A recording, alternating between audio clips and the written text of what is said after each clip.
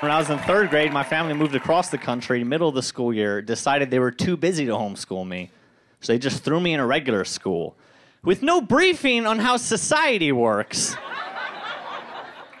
And then my first week, I'm all nervous. I'm just trying to blend in. The teacher's like, "Hey kids, don't forget Friday's current events." And I'm like, "What's that?" And she's like, "Oh, you just you go home, you read a newspaper article, and then you summarize it for the class."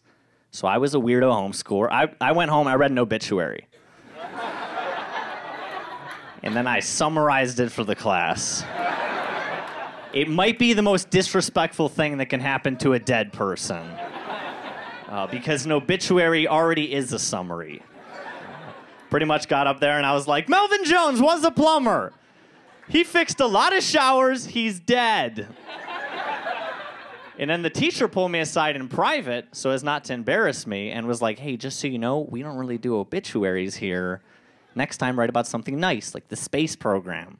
And I was like, all right, that makes sense. But because that was in private, she didn't realize that I had inspired another student.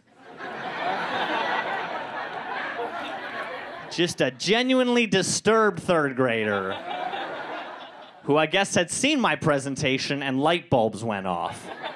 And he's like, Whoa, who's this new kid? I didn't know he could write about dead. Do you guys know he could write about dead people? This changes everything. And the next week, he's so excited to get up. He, he's one, he asked to go first, which nobody ever did. And he's just like, A babysitter killed a baby? And the teacher's like, Okay, you're done. Who's next? Somebody's next. and we're all sitting there, third graders, just like, hey, teacher, can you let him finish? We want to know whose babysitter that was. So far, that's been the most relevant current events to our situation.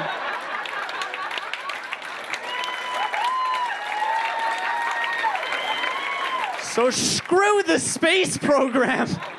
Somebody better tell us who that murdering babysitter is.